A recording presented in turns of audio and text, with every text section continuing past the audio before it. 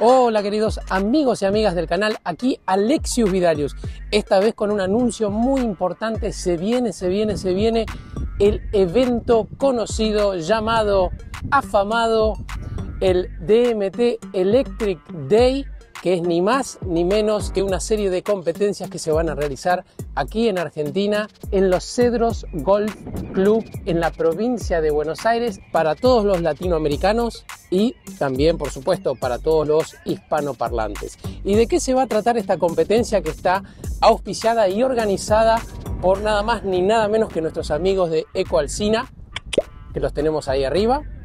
Se va a tratar de cuatro eventos principales en donde vamos a tener una carrera por equipos, un cuadrangular, cuatro equipos de tres competidores por equipo, donde van a realizarse dos series preliminares de dos carreras cada una y luego se va a realizar una final.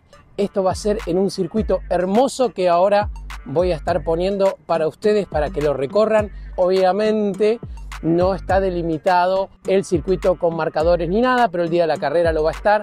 Aún así, fíjense que el terreno es espectacular para correr. Es un pasto muy limpio, no está poseado ni nada por el estilo. Se puede correr perfectamente bien y a muy alta velocidad, lo que también va a ser emocionante. También vamos a tener tres partidos de polo wheel categoría menores dos partidos preliminares y una final.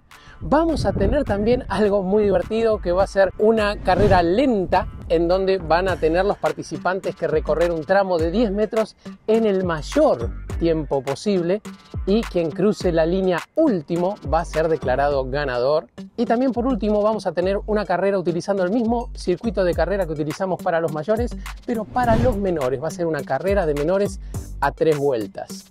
Va a ser un día espectacular, va a haber mucha gente querida, muchos monociclos eléctricos, también va a haber un restaurante en el lugar donde ustedes van a poder hacer un break a partir de la una de la tarde, después voy a poner un link al cronograma de actividades también.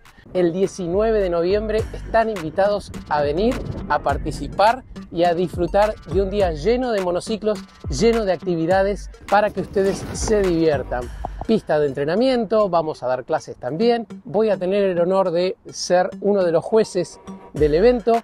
Voy a ser bastante mano dura. Espero poder verlos a todos a nuestros hermanos latinoamericanos, a nuestros hermanos hispanoparlantes, porque no, también puede venir gente del viejo continente. Así que los veo allá, espero que les haya gustado este anuncio, les dejo un cariño grande y nos vemos en el próximo video y más importante aún, en el próximo evento.